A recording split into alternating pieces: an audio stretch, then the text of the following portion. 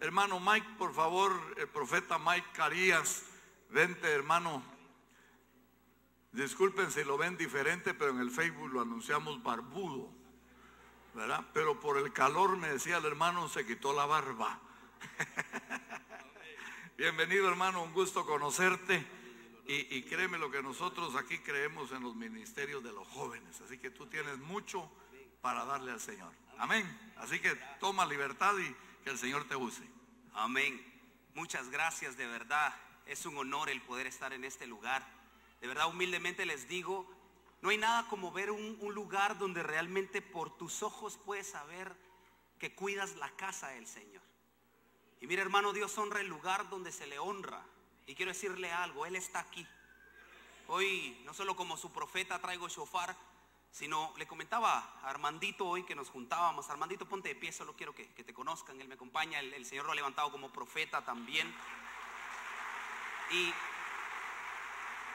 amén, hoy que traía el shofar, eh, mi amado apóstol, el Señor me hablaba y me decía, lleva trompeta, porque en el momento en el que la suenes, representa que has llamado las nuevas bendiciones que están por venir a esta casa. No sé de, de qué hablan, de que dicen la ofrenda y este asunto, pero algo puedo decirle en el espíritu y en el ámbito profético, apóstol. Viene algo grande, mis amados hermanos. Y vive Jehová y vive Dios que estoy parado en su altar, que lo que le vengo a decir no es para emocionarlo, es para decirle que Dios trae algo grande en ese tiempo para palabra fiel. Amén. Y dice Nehemías 4:20, donde eres el sonido de la trompeta, reunidos ahí, porque vuestro Dios peleará por vosotros. Amén. ¿Qué le parece? Cierre sus ojos. Quiero, quiero que esté en silencio. Deje que el Señor toque su espíritu, porque él, él, ya está aquí, pero va a ser algo más pesado y más grande. Amén. Cierre sus ojos.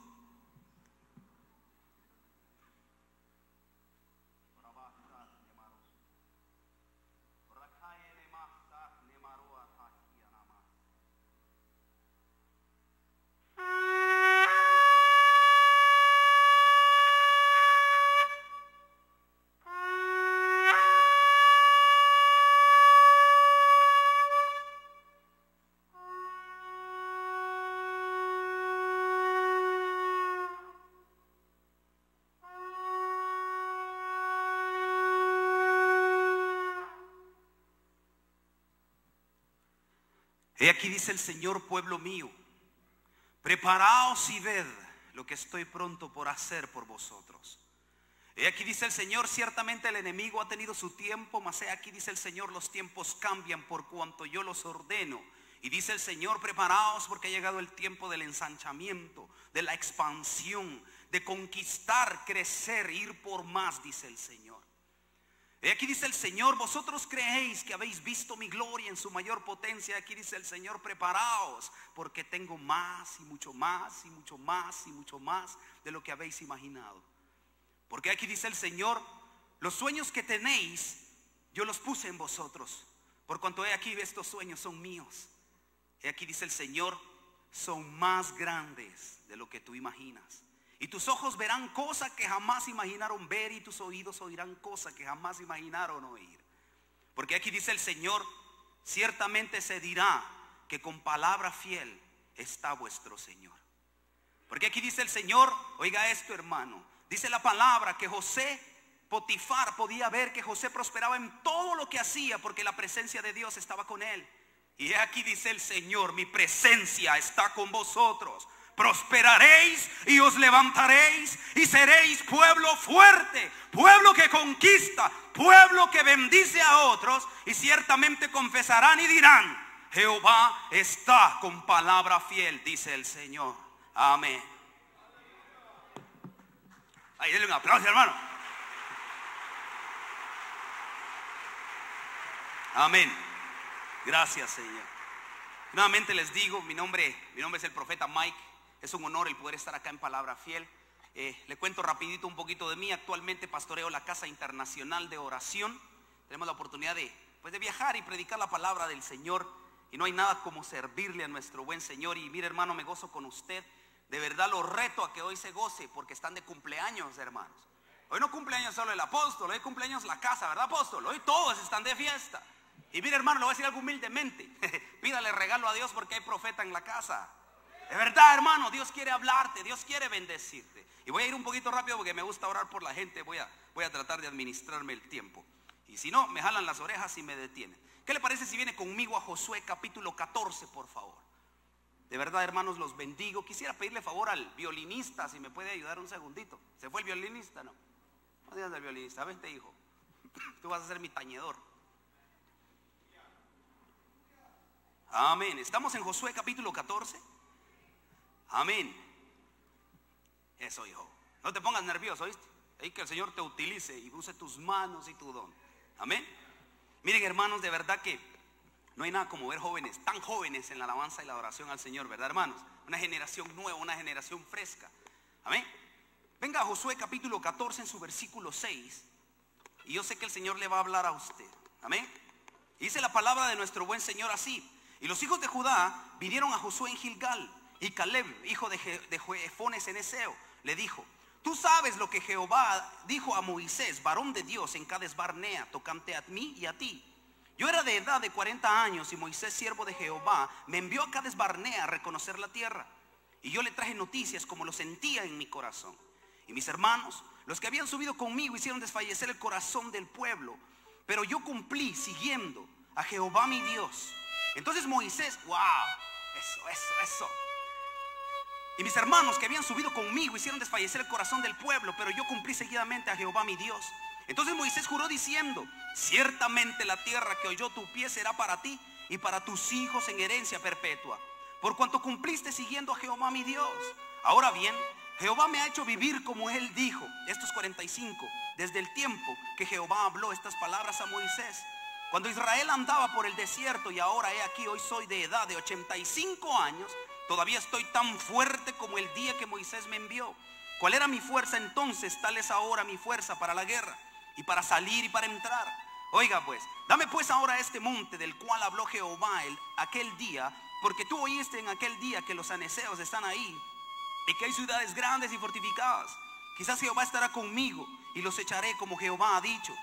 Josué entonces, oiga esta palabra tan hermosa, Josué entonces le bendijo y dio, y dio a Caleb, hijo de Jefone, a Hebrón por heredad.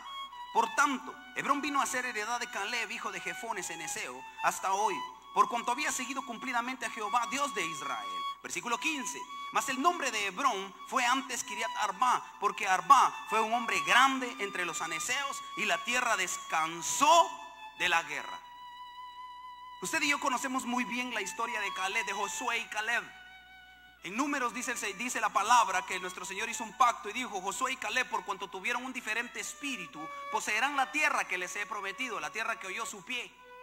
Mi amado hermano, hoy estamos viviendo un tiempo donde nuestra nación está siendo preparada para recibir un avivamiento y va a venir una presencia de Dios a Guatemala de tal magnitud que vamos, ciertamente las naciones van a poner a Guatemala en el mapa, van a empezar a vernos como una nación santa, fuente y luz a las naciones.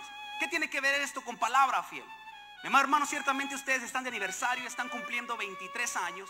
Pero algo tenemos que reconocerle a Caleb, fue una generación que marcó un tiempo y marcó la historia por cuanto tuvo diferente espíritu, dice la palabra.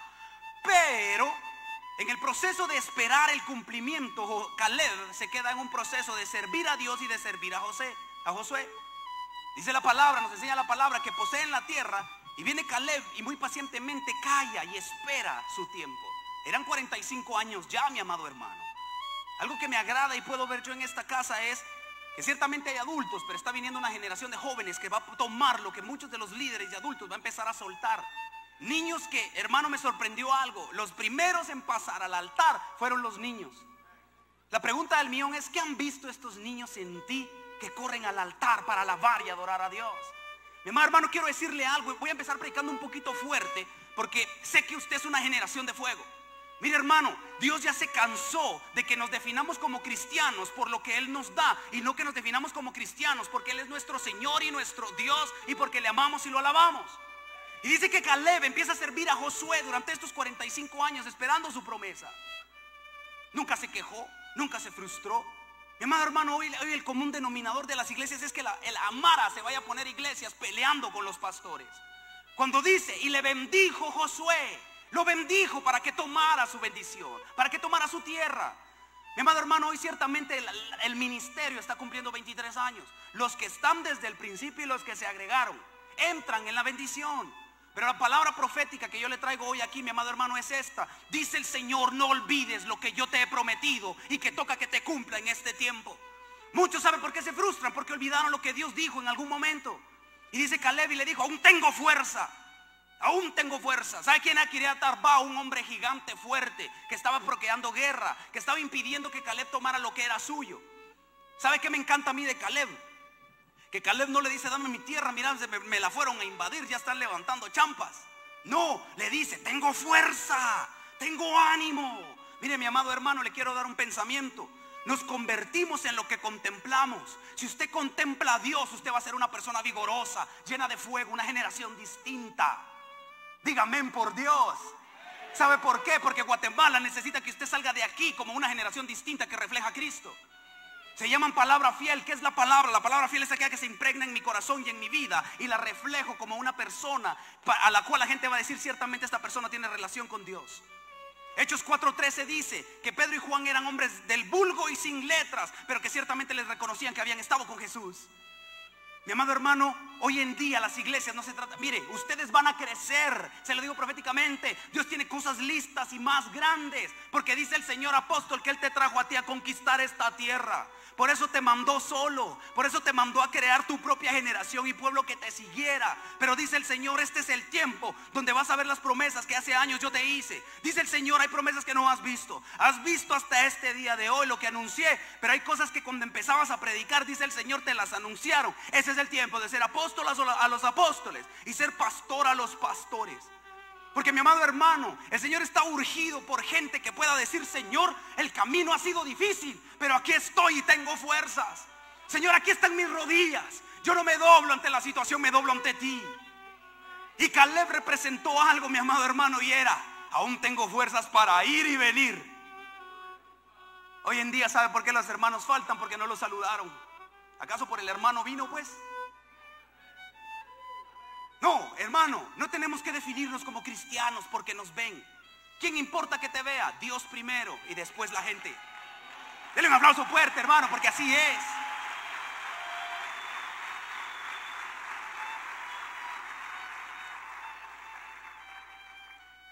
Hoy lo vengo a retar a que le recuerde a Dios que le prometió.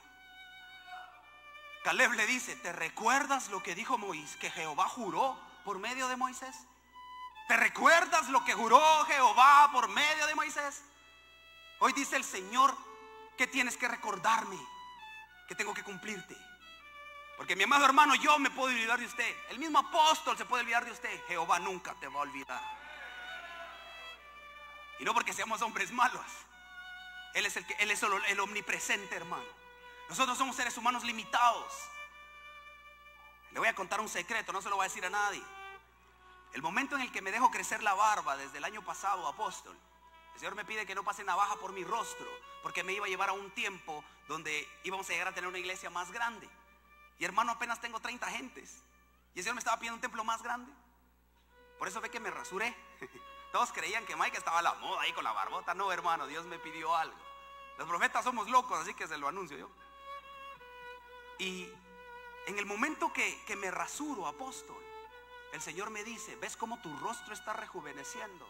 Y le digo, Señor, sí. Me dijo, así son los tiempos que traigo sobre tu vida.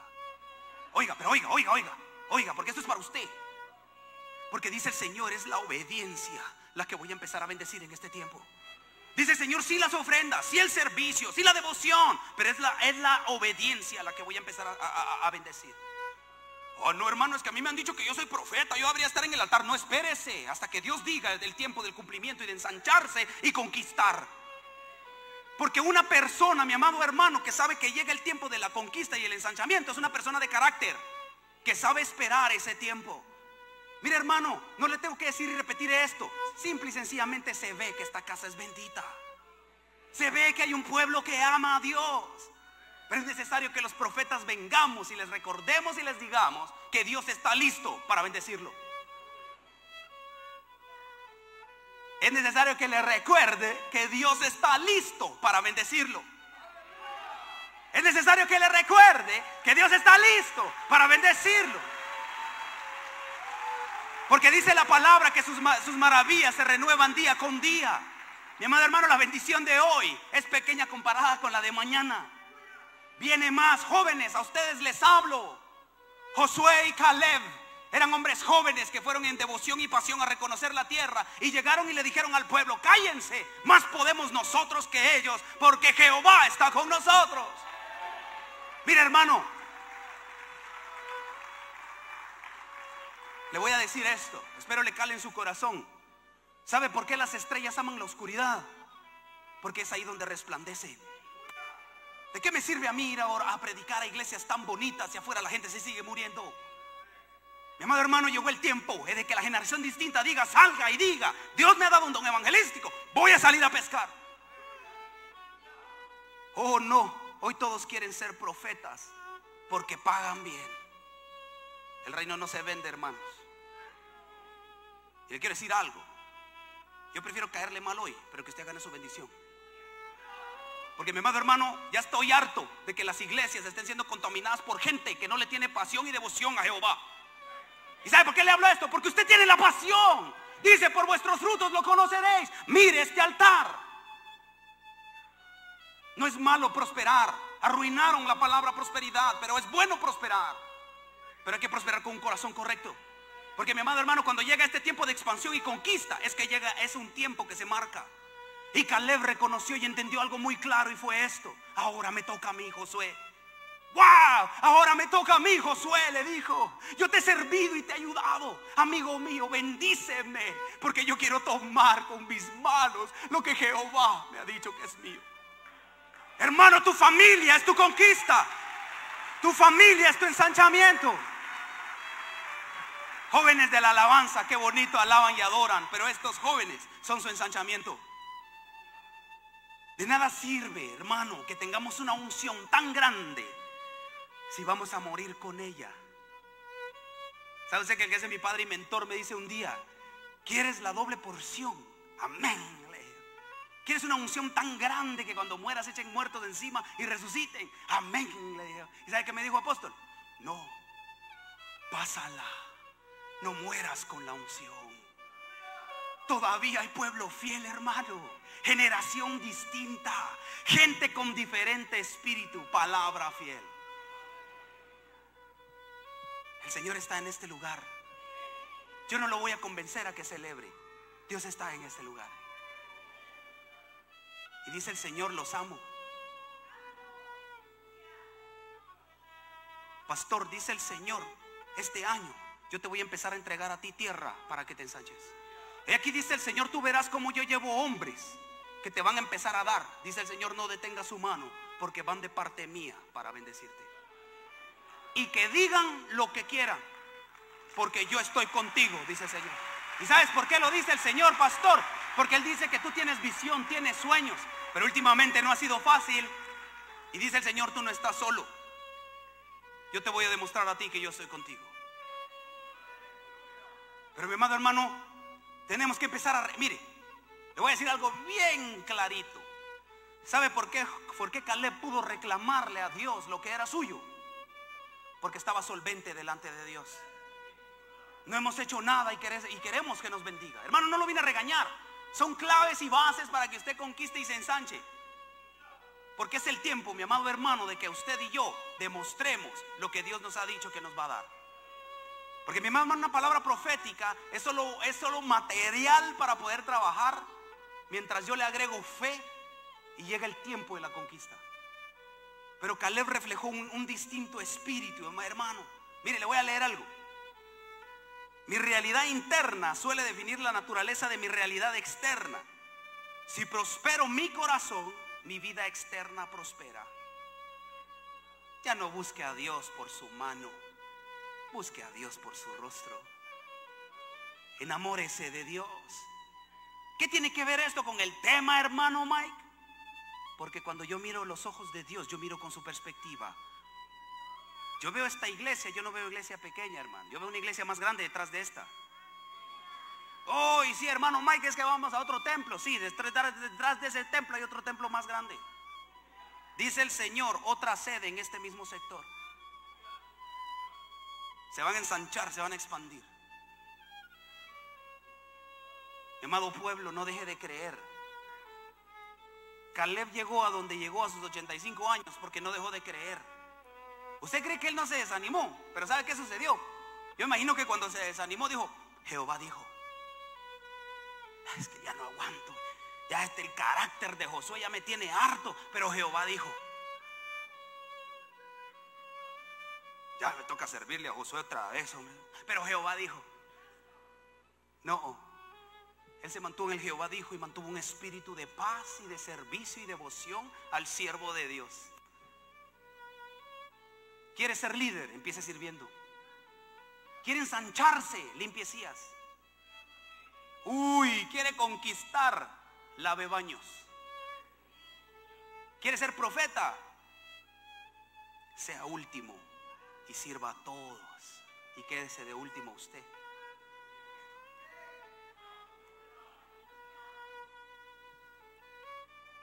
Dios quiere que conquistemos y nos ensanchemos, pero con un corazón gozoso. ¿Sabe por qué, hermano? Porque cuando un corazón se goza, todo lo que Él me da, yo lo invierto en su reino. No hay que manipular para finanzas. El que tiene su corazón puesto y está invirtiendo en su vida interna, Dios le habla y le dice, da. Apóstol, a ti te van a bendecir mucho. Uy, mira, me atrevo, vienen carros, vienen bendiciones extravagantes a tu vida, recíbelas. Porque dice el Señor que te las mereces, te las has ganado y no viene a caerte bien. Espero te haya caído bien. Pero mi amado hermano, es un tiempo donde realmente la gente puede empezar a ver que Dios está moviendo su mano honrando a sus siervos. Quiere que le cuente un secreto. Armando, ahorita te vas a acordar de algo. Aquí a la vuelta, aquí uno cruza y se va para otra iglesia. Venimos a predicar como tres veces ahí, pasado. Mira qué bonita esa iglesia. Nunca habíamos, nunca me imaginé que hubiera una iglesia así en ese sector. ¿Te recuerdas hace años? Y le digo yo a este varón, ahí vas a ver que Dios nos va a llevar a ese lugar. Mira hermano, después de dos años de esa palabra, hermano, aquí estamos. Y vive Dios que le estoy diciendo la verdad. Vive Dios que le estoy diciendo la verdad. Palabra fiel, hoy de parte de mi buen Dios, solo lo que le quiero decir es esto. Este mes de mayo es un mes de comer del fruto. Abril ya acabó. ¿Sabe qué fue un mes? De podado. Dios no estaba castigándonos, nos estaba podando, porque estamos listos para un mayor fruto. Y palabra fiel, le quiero decir algo. Ustedes están listos para bendiciones aún mayores y más grandes. No hablo solo como congregación, sino como familias, individuos, hombres, mujeres, niños, jóvenes. Sueñe, sueñe. ¿Usted cree que cuando Caleb poseyó la tierra y fue a echar a los invasores, él ya había visto su casa cómo la iba a construir? Él ya estaba viendo cómo iba a diseñarlo todo para que, porque dice que fue heredad de él y de sus hijos y de sus, descendencias. Mi amado hermano, no haga algo solo por pasar en esta vida. Haga algo por dejarle algo a alguien. Nuestro Señor Jesucristo cargó una cruz y no la dejó. El problema es que no todos la quieren cargar. ¿Por qué está tan serio? ¿Por qué está tan serio? ¿Sabe por qué Dios habla así? Porque sabe que aquí tiene gente de confianza. Amén, gracias. Muchas veces nos definimos como cristianos por lo que Dios hace por nosotros y no porque simple y sencillamente lo amamos y lo adoramos. ¿Amas al Señor? ¿Ama al Señor? Órale pues. Repita después de mí. Va a repetir después de mí, ¿verdad? Ahora le ves. No te suelto hasta que me bendigas. Vio qué mira, hasta me ericé, qué bonita oración, ¿verdad? Oiga esto, Jacob pelea con el ángel apóstol. Se echan una su peleita y le dice, no te suelto hasta que me bendigas. dice que le toca la coyunta. Vean esto, jóvenes, iglesia, hombres, líderes, pastores, todo mundo. Y desde ese día Jacob caminaba así. Thank you, Jesus. Y no lo conocían. Y dice que después de eso, apóstol, se volvió hombre próspero, rico y poderoso. Pero no lo reconocían por su pisto. Lo reconocían como un hombre que se había encontrado con Dios. Hermano, me está oyendo. Porque cuando te encuentras con Dios, todo se ensancha y se conquista solo. La gente dice, ese hombre es próspero porque Jehová está con él. Porque es hombre distinto, mujer distinta. Mujeres les tengo una noticia, si no lo sabían. Abril fue un mes para empoderar y reposicionar a las mujeres nuevamente en las iglesias. Ay, no. Fíjense, repito.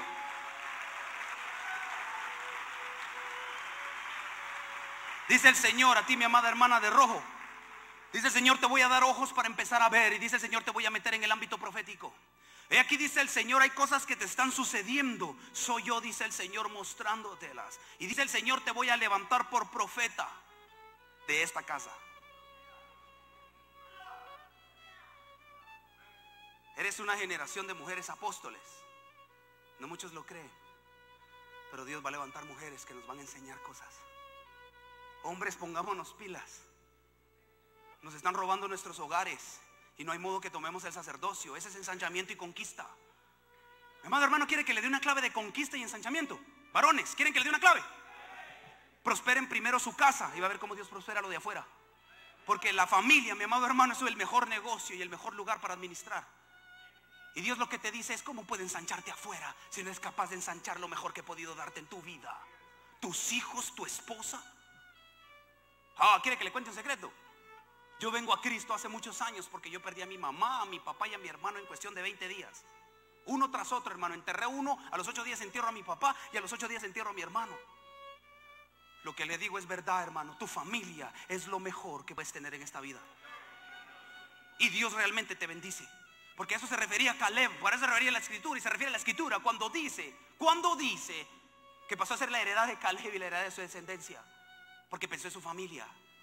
Y no era que él no quisiera ser un arrimado con Josué. No, es que Dios le había dicho que le tenía preparado algo para él también. Porque fue hombre que acompañó a Josué y regresó con un dispías. ¿Sabe qué significa cada desbarnea del hebreo, mi amado hermano? Desierto del fugitivo. Y se volvió una tierra de bendición. ¿Y qué tiene que ver esto con conquista? Muchos aquí siguen viendo atrás. A Dios no le interesa tu pasado ni quién fuiste. Le interesa quién eres hoy y el que está aquí hoy. Y Dios lo que te dije hoy es esto. ¿Quieres que te bendiga? Y por eso usted dijo conmigo, no te suelto hasta que me bendigas. ¿Sabe por qué se toca shofar? Porque los ángeles están siendo movidos, mi amado hermano. Batallones de ángeles están siendo movidos para que su bendición venga. Dios está listo. El asunto es, ¿está listo usted? Porque le quiero decir algo, en el momento en el que usted entienda, mi hermano, hermano, no solo esta prédica, sino lo más que se le enseñe para conquistar y avanzar, el Satanás se le va a venir con todo. Con todo se le va a venir. Pero ¿sabe qué? Usted va a prevalecer. Porque no va a haber potestad en esta tierra que lo detenga si Jehová está con usted. Si usted obedece a Jehová como Él dice que tiene que hacer. Amén. Mire, pues, venga conmigo a Job. Ahorita le digo, capítulo 1.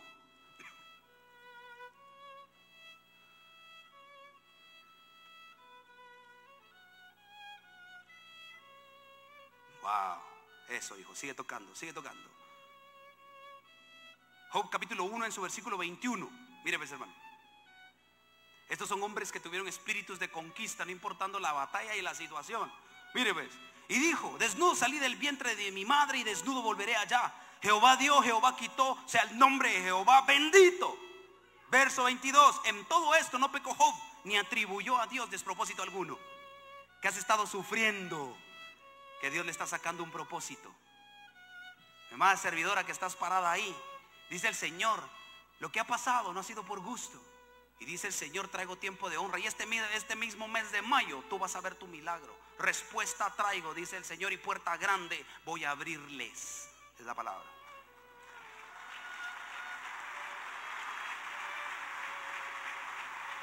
Mi amado hermano de anaranjado, que estás hasta allá atrás, ve con la señora de, de, puntitos blancos y negros. Ahí está ya la, la hermana, ya me vio. Dice el Señor, este mes de mayo yo te restituyo lo que perdiste. Dice el Señor, últimamente ha sido tiempos de cuesta arriba, perdón, sí, cuesta abajo. Dice el Señor, es tiempo de cuesta arriba. Dice el Señor, este mes de mayo yo voy a empezar a abrir puertas y voy a devolver aquello que fue quitado, dice el Señor. Y el enemigo te metió tropiezo. Hermana, dice el Señor, oí tu oración. Y dice el Señor, traigo salvación y bendición a tu casa. Dice el Señor.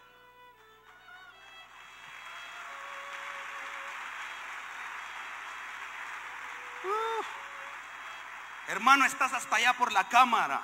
Tienes rayas negras y verdes. Levántame tu mano. Estás enfrente de la... Ahí agachaste tu cabeza ahorita. Amén.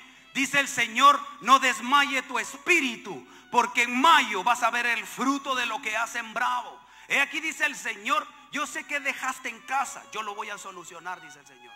Y dice el Señor, este es un tiempo, abre tu mano, abre tu mano. Y cuando yo termine la palabra la cierras.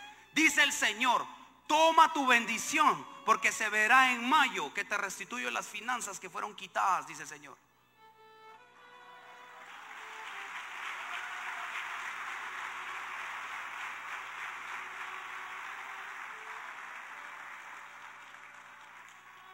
vocalista, dice el Señor, a partir de hoy voy a empezar un proceso contigo y te voy a levantar como mi pastor.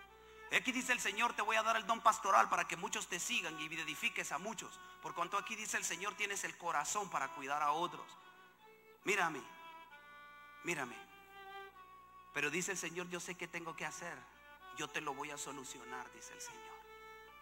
Y mira, los que han sido egoístas y envidiosos se van a poner peor porque Jehová te va a exaltar.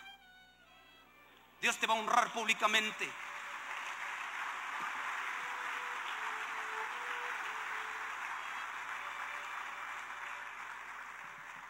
Quiere conquistar al ave. Adore. Hermano, hermano, los tiempos se van a poner peores. Escrito está. Pero la generación distinta, con diferente espíritu, alaba y adora porque lo que nos han dado viene de Jehová y lo que se ha quitado de Él es. Alabado sea el Señor. Hermano, hermano, estamos listos. Mire, hermano, yo no sé usted. Yo no vine a darle un mensaje motivacional, lo vine a retar. Seamos sinceros delante de Dios, no de los hombres. Seamos íntimos. Seamos una generación que le ama con todo su corazón. Hombres, es bueno llorar. Lloren en lo secreto. Van a ver cómo el Señor limpia sus lágrimas en público. Mujeres, reclamen a esos hombres, no se divorcien, reclamen a esos hombres como hombres de Dios. Hombres restaurados, benditos de Dios. Jóvenes, si en tu casa ya no están haciendo nada, ora tú, adora tú y vas a ver cómo Dios conquista. Jeremías fue tocado como niño. No tiene que ver solo con lo profético, hermano. Tiene que ver que aquel que busca el Espíritu lo encuentra. Dice el Señor. Espero estés preparada. Armando, ven.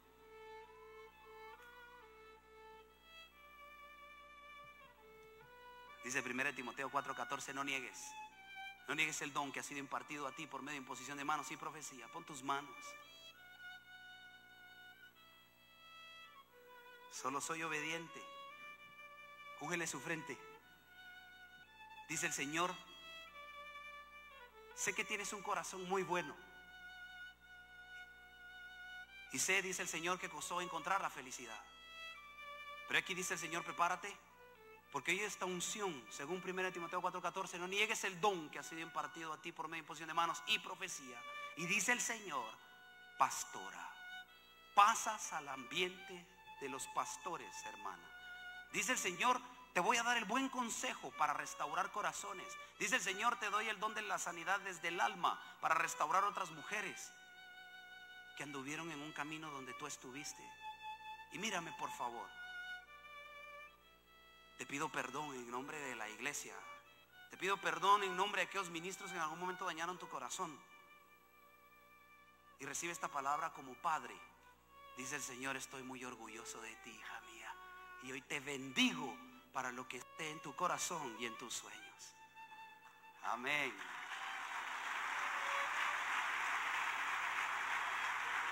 Hola.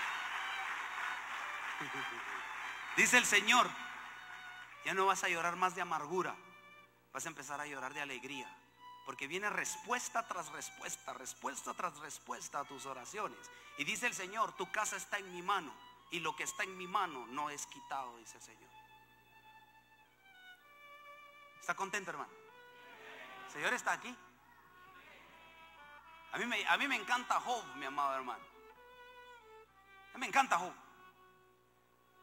Desnudo salí, dice.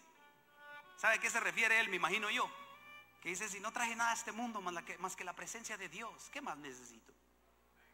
¿Usted ama la presencia, hermano? Tengo entendido que tuvieron un congreso, expansión y conquista, tiempos. Mire lo que le pusieron, tiempos. Es el tiempo. Palabra fiel es el tiempo de la conquista. Es el tiempo de ensancharse. Mi amado apóstol, cuando estábamos en la adoración y todos bajaron corriendo a adorar y a danzar, yo tuve una visión. Pude ver como una comunidad de gente, un gentío, hermanos, estaba del lado de un campo, pero este campo ya estaba gastado, ya estaba así como que ya había aburrido, ¿verdad? Pero había una, una valla que dividía y tenía el hambre espigado. Y solo pude ver que bajó un ángel del Señor y dijo, señores, llegó el tiempo de pasar al otro lado. Y en el momento en el que el ángel dice eso, la gente voltea a ver y reconoce, no, habían, no se habían percatado de que ese campo nuevo, fructífero, bello y bueno estaba del otro lado. Es una visión que tuve, que tuve acá, le estoy contando. De repente miro que todos empiezan a correr, hermano, y en algún momento veo, y yo deduzco que van a brincar, apóstol. Y nadie brinca. Todos se van en contra del alambre espigado y lo empiezan a empujar y empujar y empujar y ¡pum! Se rompe, apóstol. Y dije yo, se van a lastimar los hermanos. Y me dijo el Señor, no, este es el tiempo en el que pasen a su tierra prometida y no va a haber cosa que les haga daño, porque aquí yo estoy con ellos y nadie los podrá detener. Mi amada hermana, Armando, hazme un favor, unge a la hermana con aceite, trae la pastora, ¿verdad? Sí, unge sus manos con aceite. Dice el Señor, llévate tu sanidad hoy mismo. Unge su garganta y su cuello. Y dice el Señor, se sana en el nombre poderoso de Jesús. Y dice el Señor, prepárate, prepárate, porque dice el Señor, te imparto lo sobrenatural. Mi amada hermana, ore por enfermos. Dice el Señor, hoy te doy autoridad para echar fuera el cáncer, huesos, diabetes.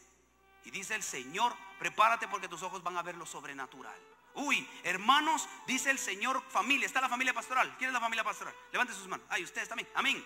Dice el Señor, prepárense para el viaje. Este año el Señor les va a regalar un viaje que va a representar el galardón y la honra de parte de Dios porque se lo merece. Pero dice el Señor, no me pidan Estados Unidos. No quiero que vayan a Estados Unidos. Europa, apóstol. Europa. Más le vale.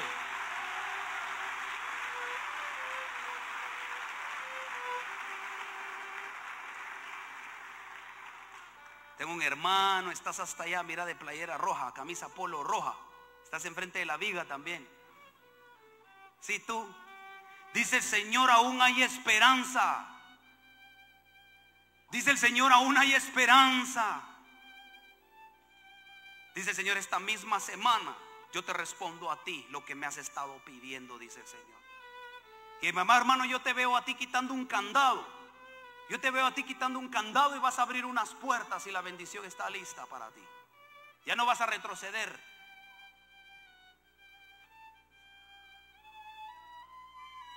Amén. Deténganme al muchacho que va caminando ahí, ve. Ahorita me vio. Vente, ve para acá. wow, el Señor está en la casa.